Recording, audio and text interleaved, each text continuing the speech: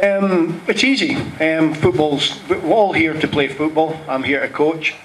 Um, you know, we've had a good um, start, a good preparation. Um, it's been very, very easy. Obviously, the weather the last couple of days has been, you know, a little bit different. Um, the weather's changed here now, so it's only going to get colder, uh, which hopefully will help us in the six home games that we've got. But no, the players are focused. You know, yesterday we came in and everybody's full of life, laughing and joking.